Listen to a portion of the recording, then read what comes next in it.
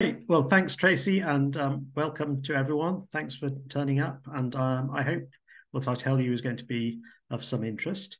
Um, as Tracy said, I'm, a, I'm an editor at PLOS Biology. Um, I've been there for 12 years or so, since 2011, when I moved from academia.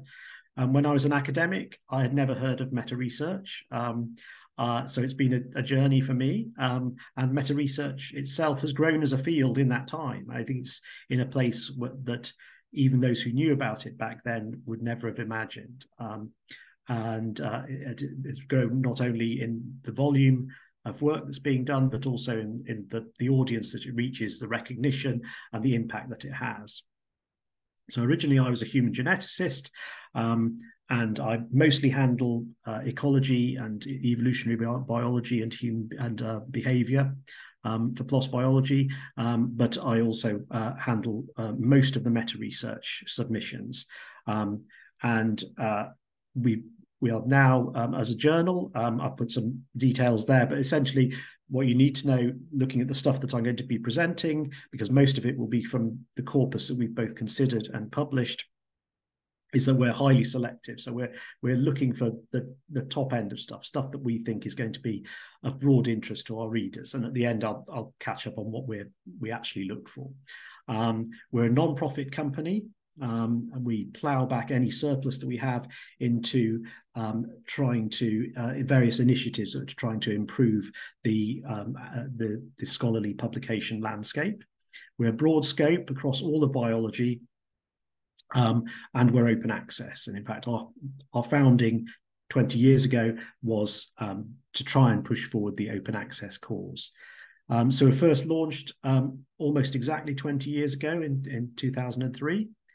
We published our first official meta research article um, in at the beginning of 2016, and since then we've published 61 uh, meta research articles, which are uh, really of quite amazing quality and have been highly influential. If you look at the number of citations um, and the number of, of, of, um, of, page views as two sort of orthogonal uh, assessments of the interest, they, they have clearly garnered quite a bit of um, uh, interest in the in, among the readership.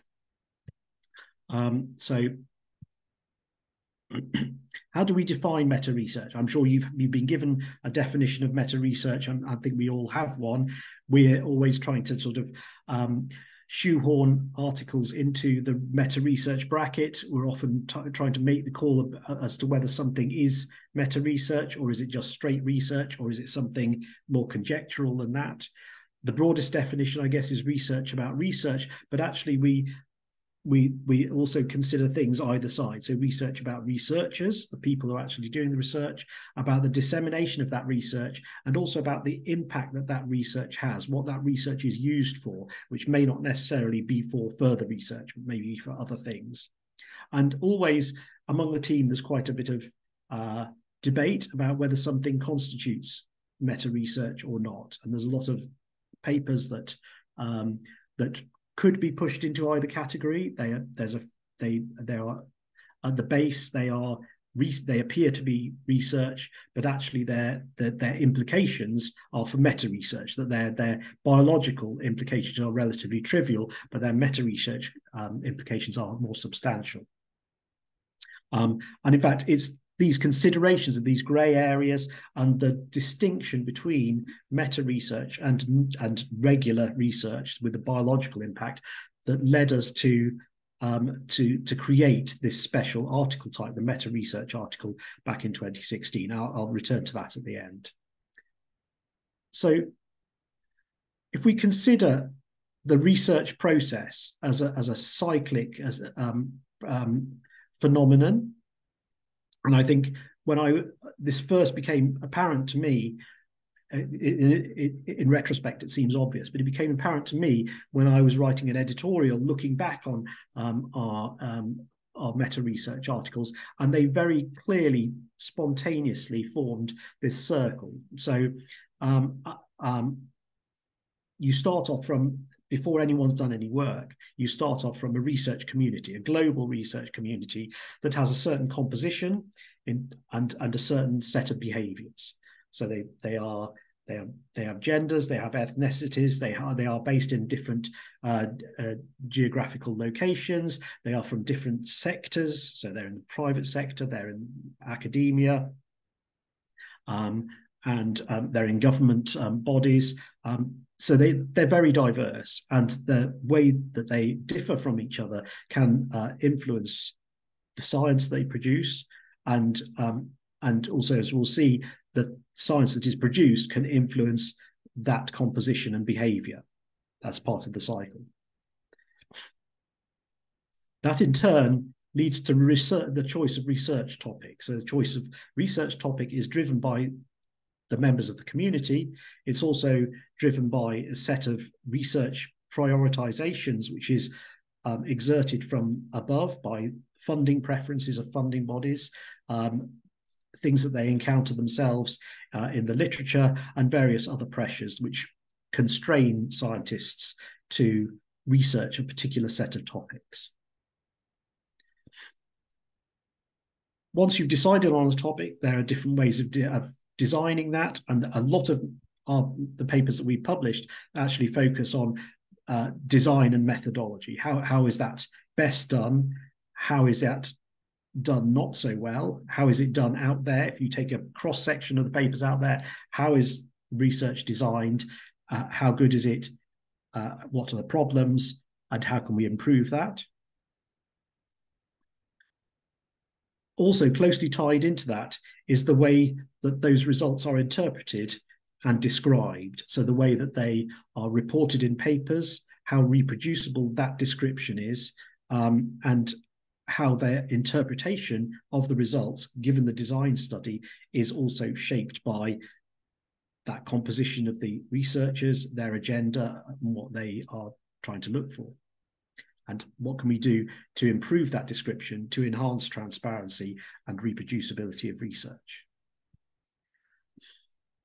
this is where we st step in. This is the, the, the bit that absolutely pertains to the, a, a journal like us. We are people who are the the funnel through which all of this work has to pass before it is published and then disseminated. So we're part of the selection process. We are quite capable of introducing our own biases by saying, yes, we want to publish cool stuff. And uh, if it's a little boring or is just a, a replication study, just in inverted commas, a replication study, then um, uh, maybe we will tell it to go elsewhere. Uh, maybe it will never be published because the incentive for the author is is not so great to publish it. So a whole load of biases that come in there dissemination of results doesn't end with publication. We are also um, uh, interested in what happens afterwards. So there are things like the way it's covered in the press, the way uh, other people receive it, discover it, read it, uh, the way that it's described in social media. Um, and finally, those results, those findings, and the papers and where those papers are published have knock on effects for the assessment of the researchers that we talked about right at the beginning of that um, cycle. So, so they're often the, the, the perceived importance of those results often then goes into the immediate assessment of the researchers and the funding decisions that then de determine whether they can carry on working on what they're working or can determine what they will be working on in future. Um, and it's not only the, the findings themselves, of course, but which journal they're published in. Um, and uh, merely publishing journal A rather than journal B can determine the how research then progresses and the direction it takes. Um, so that's the cycle and we all of that we consider to fall under meta research and i think i have examples of all of those, possibly a couple of examples for each one, which I'll run through um, next. Um, now, they are all, you will spot, drawn from my journal, and partly because it's an easier task for me and I know these things inside out, and partly because I think they're actually quite good and quite interesting. Um, and I will only cover them very briefly um, but I on each page you will see a QR code, and if you're particularly interested in that paper, you can just snap the QR code and go and read the paper yourself uh, uh in your spare time. The of these 61 papers which I, I looked at, I surveyed, these are the I pulled out the methods and I put them into uh, a word cloud, and you can see various things coming out. This is a highly skewed set, I would say. I think it's there is a high preponderance of papers on aspects of preclinical research, and I think that's because of the the history of this field. Um, but uh, but there's quite a diversity. So literature there's a lot of literature, literature research varying degrees of rigor and meta-analysis, a lot of bibliometry, so looking at the citation structures. Um, uh, there are wet lab experiments which are used to address meta-research questions. Um, there are also uh, there's modeling, there's simulations, um, interviews, um, and then there are uh, there are very specialized databases. Also, there's genetic database sequence analysis, um, social media databases. There's academic family tree was used for one study, um, and various sets of documents that were um, mined, text mined to do these studies. So there's a diversity of data and a diversity of methods that we used to um, to comb through that data and to analyze it. Um, so there's a huge number of topics. Most of, uh, I would say, over half of them will. The findings are generalizable across all fields of biology, certainly, and possibly wider than biology. But some are field specific. I've just listed some of those fields there human genetics, biodiversity, microbiome, cognitive neuroscience. Um, so they're I suspect that's one paper for each of those, and then the remainder are, are more generalizable. But you can get the idea of the, the range of material that we've we've looked at. I think for meta research, we have a publication rate which is much higher than the rest of the journal. We publish about 10% of what we receive, but in meta research, we publish more like 30%. So my understanding is not that we're softer on meta research, but that we're getting better submissions um, on on the whole. They tend to be more rigorously done and uh, of greater interest. So maybe that's because it's a young field and still very vibrant. Um, so as well as topics, there's also a diversity of issues. So these are the the issues that whatever the topic of the particular study, these are issues that emerge from it and are addressed by the paper and um, cut across a lot of um, aspects. So gender, language, as in the language of researchers, what languages they speak and, can read, training, mentorship, equity, prioritization of research, transparency, transparency and reproducibility of research, bias that's introduced at various levels in that circle that I described, various things like um, pre-registration and appropriate choice of statistical methodology that can try and um, reduce those problems, things like the three R's and consideration of um, animal uh, ethics in animal studies, um, aspects of peer review, spin, as in spin in papers and spin in um, uh, post publication dissemination of uh, research in the press and in social media. Um, also, science communications, social media, and then evaluation and funding of scientists in the final bit of that cycle. So I've picked 12 out of that 61. Um, I'm going to keep an eye on the clock so that I don't get um, too interested in some of the papers, but I'm hoping that um, I will be able to describe the papers in a couple of sentences in a way which will tell you whether you can whether you're interested in looking at it in more depth afterwards. And I've I've chosen these specifically well, partly because I think they're all intriguing, but also they're diverse in terms of their topic, the issue, and the methodology that's being used to um, get those um, answers. Um, so this is one which is looking at um, the gender gap in science. So what they did here was to uh, survey millions, I think it was I can't remember, several millions of, um, of papers and the authors of them. And they de- developed a method for inferring the gender from their name and their geographical location. Um, and they they verified that to check how accurate it was. Um, and that is part of the advance. And the rest of the advance is applying that methodology to look at not only uh, the existing uh, gender biases by field by field, but also the trends through time of that, so that they can see in given fields at what point in the future, given current trends, will um, men and women be equally represented in those fields. I think that's quite a cool study. This is one that we published just this year. It is, I think, our high, most highly viewed paper of this year so far. Um, really ran and ran on social media.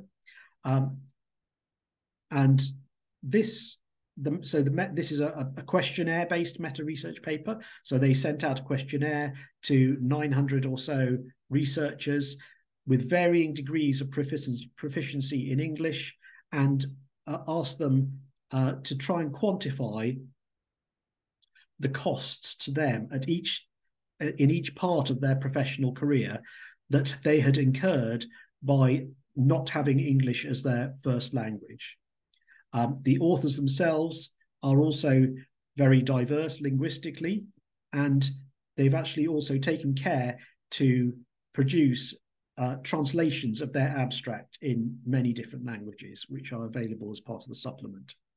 Um, so what I guess the idea is no one is surprised that there is a, a and in fact this is a, this is a, a recurrent theme in meta research. I think a lot of these papers you would say, well, no one's surprised that women are um, taking a, a, while to reach um, uh, equality with men, particularly in senior positions. No one is surprised that there is a cost to not uh, speaking English as your first language in a field that, for strange historical reasons, is dominated by English. Um, but in each case, we're quantifying the problem. We're giving people a benchmark by which people can take action. And that's another uh, interesting thing about these meta research articles is they're often not only spotting the problem and quantifying the problem, but they are also um, proposing uh, solutions. And in fact, if people don't propose solutions, we tend to try and push them uh, in their revision to, to propose some solutions that can be assessed by the peer reviewers for how feasible they are. This is one moving around that circle. This is one about research priorities. What determines whether you study something or not? Now, this is quite a nebulous question to address, but what these people have done is to take one situation where the problem is not nebulous, the list of human genes. So we have about 20,000 human genes, and it's very easy to tell because every single one has a very clear searchable name. It's very easy to tell which of those have been studied, how much they've been studied by using bibliometry, and also to try and look at the properties of those genes and the proteins that they encode and see if there are reasons why certain genes are being ignored. And also from the genes that have been shown to be important, can we predict genes that have been ignored so far, which might be important and therefore deserve prioritizing for future um, research? again, quite a cool use of combined um, genetic database mining and bibliometry. This is another one of those things that no one is going to be surprised by the result of this, but it's something that needs benchmarking so that we can go to funding bodies and say, look, there's a real problem here um, and it needs sorting. So what they've done here is to go through half a million human microbiome data sets and find out where they came from, essentially. And the answer is in that bottom graph that you can see there, the disparity between the number of samples in the main graph and the distribution of those ethnicities in the bar on the right. Um, and you can see there, surprise, surprise, that Europe and North America dominate, even though they're a tiny proportion of the global population. This is clearly a problem in terms of using those data in any meaningful way across the global population and um, and is therefore of interest to funding bodies and people who want to make generalized statements about the relationship between microbiome structure and issues of human health and so forth. And that was done using uh, gene database mining, um, specifically microbiome data sets. Um, this is a paper, we got several papers on, on this uh, topic where you're trying to look at the relationship between how preclinical um, animal research is done and how reliable and reproducible the results are. Um, this particular one um, doesn't use any wet, new wet lab um, experiments. Some of some of them do. I think there's three or four that use um, wet lab experiments which are set up specifically to address meta research questions. This one they're using prior published data sets from different um, uh, animal research uh, projects, and they're using those that, from the meta analysis to, to as an input for simulations to see how the uh, reliability, re- reproducibility of the results depends on how the um, how the study was structured, whether it involves um, multiple labs or single labs, and how much heterogeneity is built into the system. And this is another simulation-based thing. This is this is purely running simulations and asking the question: if you shift from using just a single sex uh, animal study, usually by default the males, and you then double up and and and introduce females and use a single um, single study, but uh, both sexes, um, do you have to automatically increase your sample number uh, in order to uh, to maintain the same statistical power. So these authors use simulation to uh, to test that, and the answer is no. You don't by default. There are conditions where it it might help to increase sample number, but actually you get additional information and no loss of information by switching from a single sex to a, um, a both sex study. And this is what this this is asking what methods, what statistical, mostly statistical methods. you can see, I don't know if you can read the, the labels on each graph.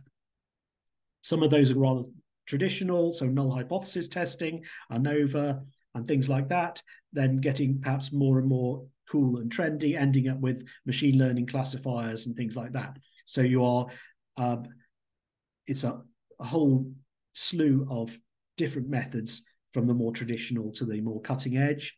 And what they do here is essentially use bibliometry and machine learning. The machine learning is to extract the um, the methods um, out of the uh, raw XML text of the papers and looking at trends um, and, and, essentially seeing which of these methods is going down over time and which is going up over time. And as you can see there, this is a study that itself uses machine learning, um, and machine learning is going up through the roof at the bottom right hand corner.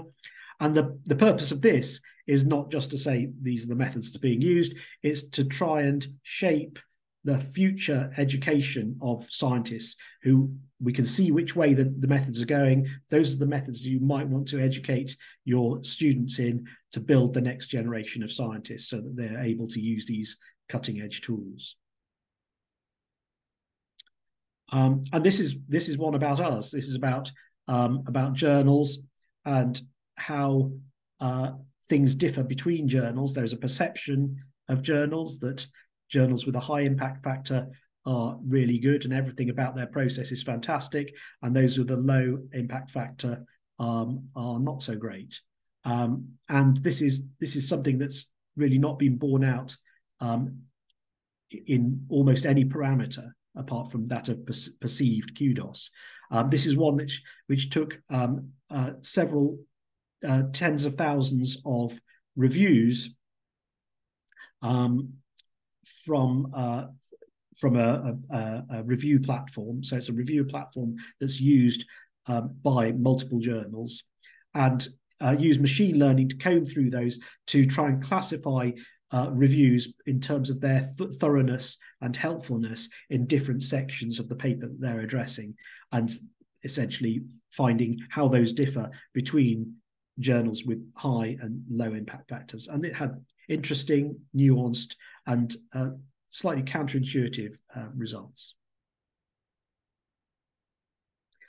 Now we're moving on to um, research dissemination. So the paper has been published. What happens next? One of the things that happens is we move, we we accept a pay for publica- for publication. We then commission a freelancer, usually, to write a press release. We press release it, and it then appears in the media if it's an exciting result. Um, you may, if you're on Twitter, you may have come across um, a uh, a hashtag called Just Says in Mice, and Just Says in Mice is uh, that this in mice um, lobby group uh, apply to papers where if a paper is making some or the the the um, uh, the, the press release and or the journal the newspaper um, article is making some grand claims about a paper which was actually in a model organism like mice, for example, um, and is not mentioning the fact that the study was in mice, these people will retweet the, the article with the hashtag just says in mice. What they're doing here is looking for the relationship between the title of the paper, the title of the press release, and the headline that's used in the newspaper, and seeing how they relate to each other. If a paper is in, you know, in this case, they're looking at Alzheimer's studies, but it's a broader survey uh, or with broader implications. If the paper says XYZ reduces the symptoms of Alzheimer's disease, but fails to say in mice in the title, what these people show is that this also tends to feed through to the press release and ultimately to the headlines in the newspapers. And they would say that that is somewhat misleading. And as a result, in fact, of publishing this paper, we have since ensured that any titles are changed to reflect the, the study species. Um, and they use their they use literature uh, literature search with manual coding. In fact, which is probably the most popular set of methods in any of our uh, meta research articles. There's also social media. This is an interesting study which it doesn't use um, published papers or peer-reviewed papers, but use bioRxiv um, uh, preprints. And what they did was to look at, um, uh, I think this was a couple of hundred thousand preprints, so that's uh, um, social media posts about preprints from a range of topics. Um, they did several things. Firstly, they they looked at the tweets that relate to those preprints. So these are often very um, most preprints tend not to be um, mentioned in social media. So this they tend to be so the ones that they that are mentioned tend to be of unusual, slightly provocative topics. What they do here is to look at the number of tweets um, per article. They then look at the people who are tweeting and retweeting those and form a network and then do autom- automated segregation of those networks to see how they cluster and see. And they they've done this they do this at several ways, but what you can see in this particular chart is they've done it by field, and you can see that they've then clustered them, and then also using um, the biography, the profile terms in the Twitter users' um, biography to then segregate those individuals on a political left to right ratio. And they're various things that you can see a lot of genetics and neuroscience being tweeted quite potentially with misleading um, purposes uh, on the, the right wing, and they give various examples of this, and then a lot of soft things like science communication and education and ecology coming out on the left wing. But very interesting use of social media data and um, automated network analysis. And now we're on to research evaluation. So the research is out there, everyone's talked about it. What is it used for? This is looking at um, how people might acquire funding, how funding decisions are made. And at the moment, it's a straightforward it's the left hand thing here. You have a, a uh, a competition. People put in proposals. They invest a lot of time, and there is a competition for essentially by which they are judged. And the, what they're doing here is what happens if, as well as doing that, you do a partial lottery. So some of your judgments are made on that basis, on the traditional basis of a competition between proposals, and some of it is done by lottery. And lotteries, they are random, but they also reduce the burden on the research community, both in terms of putting in your application and in, in terms of judging it and reviewing it. That is one of our most views and mo most viewed and most cited um, meta research papers ever, and uses modeling. Um, and then uh, the final paper I want to talk about is one that is looking at uh, uh, citation rates but trying to repurpose those. In fact, these are people who worked at the NIH, and we've considered a few more papers since then that use this relative citation ratio, the RCR, and using that, normalizing it uh, by field, using network analysis to look at um, uh, shared overlapping interests and you then normalize your citation rate by those around you in the in the space in expertise space um, and this gives you a more across field because fields behave very differently they have very different citation behaviors. This gives you a way of normalizing those so that you can judge between very disparate fields the relative uh, citation rate of those individuals.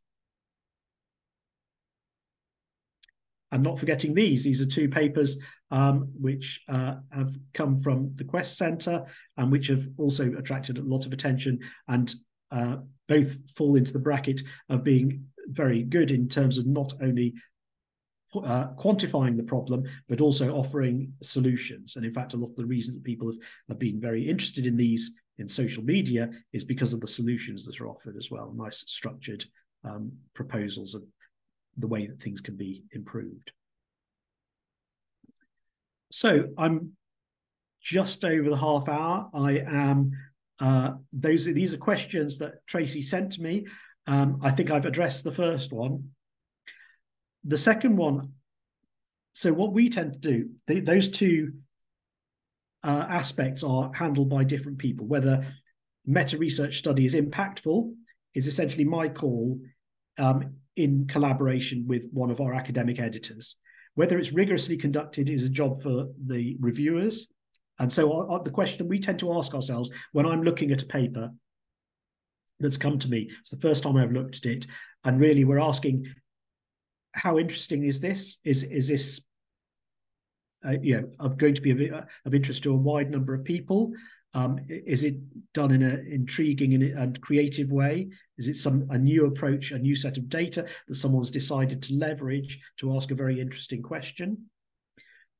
I will also try and find out whether it's new, whether someone else has tried to do it before, and whether this attempt is better. I'll then, if the answer to those is yes, it looks interesting, and yes, I think it's new, I'll then discuss it with an academic editor who's a member of our editorial board, and I'll check in with them, and they'll say, yeah, I think this is interesting, but I'm afraid it's been done before. It's not so. I saw a paper like this last year. It's possibly not so new, so maybe we will, we will forget about it. Or they might say, yes, this is great. I did, I'm not aware of anything else. Let's send it out to the reviewers and see if it's rigorous.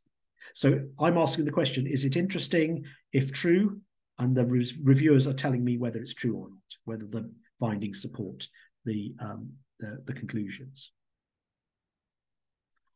I think the next uh, question is really interesting. Um, why did we start this this collection? It's not just a collection; it's a it's a it's a whole uh, article type, um, and I think so. So this started before I started to do them. So I um, I was handling one or two. They were meta. They were what we would now say as down the line meta research articles, but we didn't have an article type, so we considered them as research articles alongside papers that had a straightforward biological advance and that caused various difficulties. Um, and the, the you know, we used to have to try and ask ourselves questions. especially where the paper itself has no biological advance at all. It doesn't tell us anything new about the biology, but it does have implications at the meta research level for how we do research. Um, and so it was partly because of that we felt a need to try. We were seeing more of these papers. We felt a need to try and um, carve those papers off into a set, separate section so we could judge them properly in their own right. And the other is that we were joined an ex-colleague of mine, um, Stavroula Kousta, who came from an experimental psychology background. And experimental psychology has a, a is historically um, um, somewhat ahead of many other fields in terms of meta research, partly because of the problems that they have had in their own field. There, there have been issues of poor reproducibility and um, inappropriate uh, methodology and things like that. So they've they've had a history of problems. They've thought out a lot of these. The um, registered reports or pre-registration has come from that field, and Stavroula came and perceived this need and set up those um, articles. She's now moved on to another journal, but I'm now uh, handling them. And I think um, we also have a section of our editorial board who who are dedicated to handling these papers, and I think that it has.